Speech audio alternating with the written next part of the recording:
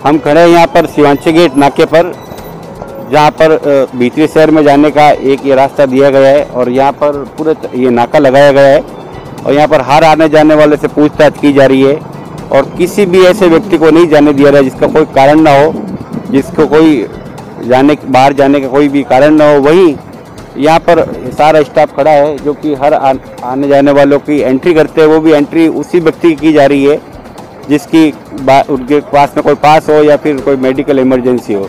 बाकी यहाँ पर कोई भी किसी को भी बिना कारण से नहीं आने जा बहुत ही सख्ती से यहाँ पर ये किया जा रहा है। इसी कारण से आज यहाँ हॉट स्पॉट 80 लगभग केस इस थाने के अंदर दर्ज किए गए। 80 80 में से 60 लगभग यहाँ पे रिकवर हो चुके हैं और दूसरे एरियो में ये कोरोना नहीं फैला है। कुछ ये पर्टिकुलर दो तीन एरियो में ही ये कोरोना का जाल इस थाने के अंदर हुआ था। इन लोगों की मेहनत है, इन लोगों ने बहुत ही काम किया है, मेहनत की है। इसी कारण से ये जो भीतरी शहर का जो छोटा सा हिस्सा है ये और छोटी छोटी गली है छोटे छोटे कंजेस्टेड घर है, उसके अंदर लोग रहते हैं घनी आबादी क्षेत्र है। फिर भी यहाँ पर कोरोना का पूरा तरीके से कंट्रोल यहाँ के थानाधिकारी के निर्देशन में इन लोगों ने किया है। बहुत ही अच्छा काम कर रहे हैं। और हम जानेंगे इस थाने की पूरी बारे में कि किस तरीके से कंट्रोल किया। हमने थानाधिकारी से ही बात की। आगे हम बताते हैं आप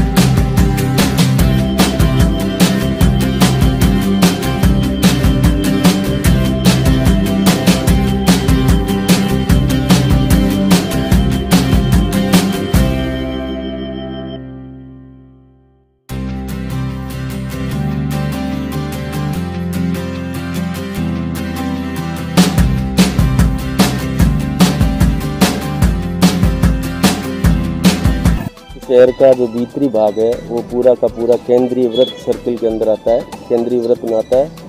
और उसके अंदर जो मूल रूप से थाना है, खांडा फसा, जो चार दीवारी के अंदर का महत्वपूर्ण हल्का इसमें शामिल है। अभी जो कोरोना संक्रमण का जो शुरू से लेकर आज तक की स्थिति है, इसमें घनी आबादी क्षेत्र रहा है ये।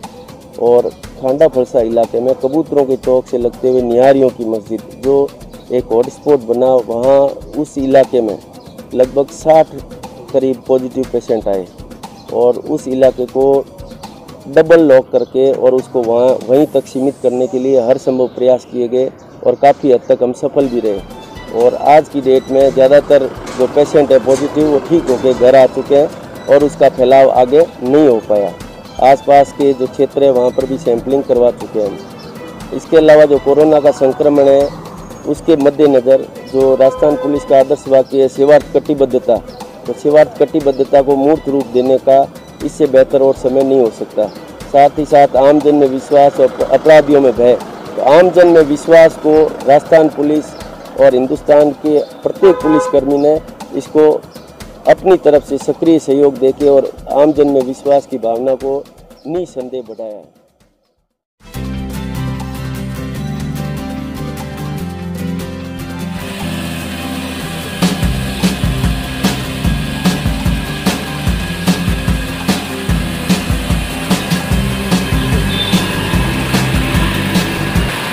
साथ ही आए थे। पहले 21 पॉजिटिव आए थे उसके बाद में 33 आए थे उसके बाद में दो चार यू करके। लगभग 60 पॉजिटिव इस एरिया में आए लेकिन इन लोगों ने बहुत ही कड़ी मेहनत की। किसी को भी यहाँ से आने जाने नहीं दिया। हर चीज़ की यहाँ व्यवस्था करवाई लोगों को हर चीज़ की घर बैठे ही सब कुछ होम डिलीवरी करवाई सब्ज़ी फ्रूट दवाई सबका इंतज़ाम किया लेकिन लो, लोगों से रिक्वेस्ट की कि कोई भी घर से बाहर नहीं निकले। और इसी का नतीजा है कि आज ये क्षेत्र बिल्कुल कोरोना से मुक्त होने जा रहा है, जबकि यहाँ पर बहुत ही ज़्यादा छोटी छोटी गली है पतली पतली गली है, जहाँ से जाना भी बड़ा मुश्किल होता है और छोटे छोटे घर है। उसके बावजूद भी यहाँ पर ये जो आंकड़ा है, साठ तक सीमित कर दिया इन लोगों ने और बहुत ही मेहनत की इन लोगों ने और सभी लोगों का ध्यान भी रखा, ज़रूरतों का भी, किसी को तकलीफ़ नहीं हो, हर चीज़ की सप्लाई का ध्यान दिया गया। उसके बाद इन लोगों ने रात और दिन इस तरीके से सख्ती भी की, समझाइश भी की। उसके बाद में आज ये क्षेत्र जो कि बहुत ही बड़ा कोरोना विस्फोट हो सकता था, लेकिन आज इस क्षेत्र में यहीं से गेट है ये, और यहीं से ही सब कुछ नाका बनाया हुआ है, और इस यहीं, यहाँ पर बिना इनकी इजाज़त कोई भी बाहर आ जा नहीं सकता। तो इसीलिए आज ये क्षेत्र जो है, जो कि बहुत बड़ा कोरोना विस्फोट हो सकता था, लेकिन इन लोगों ने रात दिन मेहनत की, चौबीस घंटे ड्यूटी की। इसी कारण से आज ये क्षेत्र कोरोना से लगभग मुक्त हो चुका है। सात पॉजिटिव केस सिर्फ़ बचे हैं, बाकी सारे सही होकर घर आ चुके हैं। तो बहुत ही अच्छा इन लोगों ने काम किया है। और कोरोना को यहाँ तक ही इन्होंने रोक दिया है।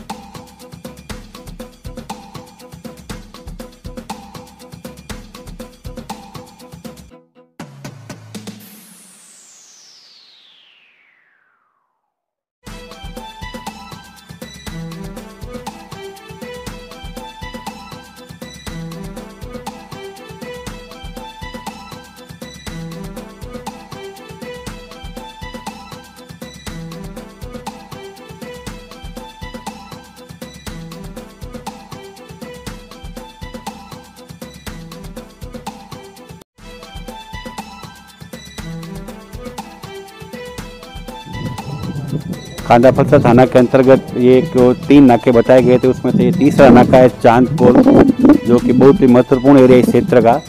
यहाँ दूसरे शहर से अंदर आने का एक एक यही रास्ता है। और यहाँ पर भी 24 घंटे यहाँ पर निगरानी रखी जा रही है। यहाँ पर थाना का स्टाफ रात और दिन यहाँ पर हर लोगों के आने जाने वाले से पूछताछ कर रहे हैं, हर लोगों से बात कर रहे हैं। और वैसे और जो भी सरकारी कर्मचारी, अन्य लोग हैं, उनकी एंट्री की जा रही है।